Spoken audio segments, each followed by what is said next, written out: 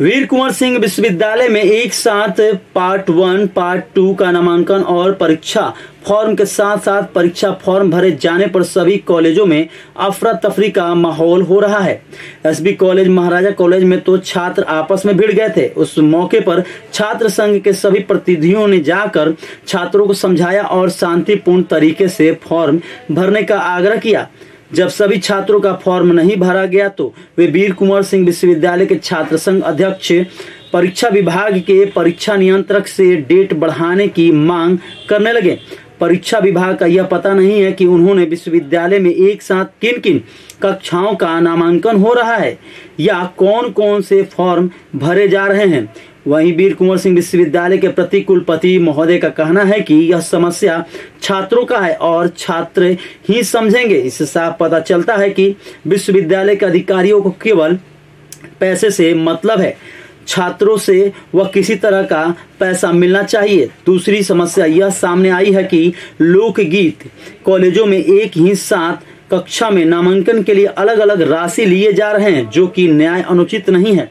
जब सभी कॉलेजों में समान व्यवस्थाएँ उपलब्ध है, इस विषय पर छात्र कल्याण पदाधिकारी ने कहा कि बहुत जल्द समान कक्षाओं में समान फ़ीस निर्धारित किए जाएँगे। मौके पर सूर्या सिंह, ग्रीन सिंह, आशीष कुमार सिंह, विक्की सिंह, अखिल भारतीय विद्यार्थी परिषद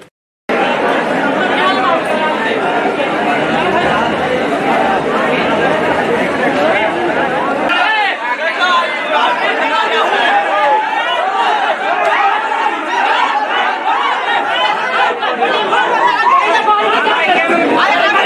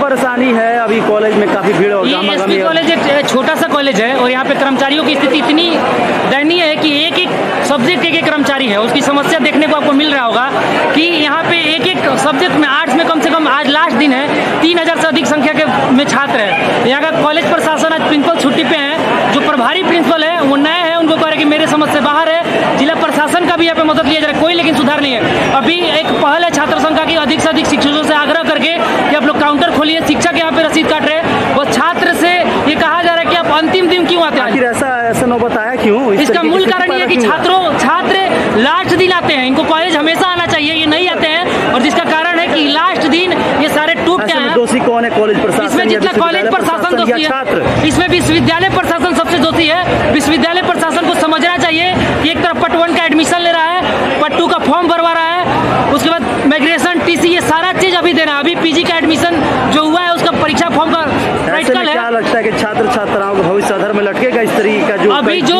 अभी कंडीशन है विश्वविद्यालय बस एक डिग्री बांट रही है तो उसको शिक्षा से कोई मतलब नहीं एक ढोंग है जहाँ पे 1700 छात्र से सत्रह हज़ार उसी छात्र पढ़ रहे हैं लेकिन उनके लिए कोई सुविधा नहीं है। ये छात्र केवल पैसा देते हैं और इनके पैसा से विश्वविद्यालय अच्छे से आराम से ज़िंदगी जी रहा है ये और छात्रों के लिए कुछ नहीं। और छात्रों की जो कमी है सबसे बड़ी इनको कॉलेज आना चाहिए। अध्यक्ष हैं कुलपति से इस बात का आपने अवगत कराया है आज मैंने सुबह सुबह परीक्षा नियंत्रक का ये मामला है हमारे जो कुल नए कुलपति महोदय आए ये ट्रेड बांटे हुए हैं कि ये इसी ट्रेड का ये परीक्षा विभाग के मैडम से बात हुआ है वो बोल रहे हैं कि जब तक सारे कॉलेज के लिखित नहीं देंगे कि हम पट्टू का एडमिशन नहीं कर ले हैं तब तक हम डेट नहीं बढ़ा रहे। ये सबसे बड़ी गलत बात और सब महाविद्यालयों में क्या डेट यही से या इसी तरह की डेट जब मिल रहा है? सारे कॉलेज से आग्रह की सभी कॉलेजों में यही भगदड़ की स्थिति है। डेट बढ़ना चाहिए और इसलिए बढ़ना चाहिए कि एक काउंटर पे तीन तीन चीज़ का नामांकन होना तो मुश्किल है। यानी क्या लगता है कि विश्वविद्यालय पूरी तरह से अपना गैर हाँ, लेते उन गार्जियन